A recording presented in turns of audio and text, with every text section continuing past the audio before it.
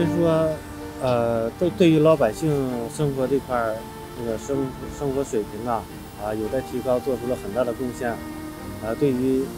呃当呃过去的疫情呢，总理总是冲在前方，我们心中是缅怀总理的，希望啊总理一路走好。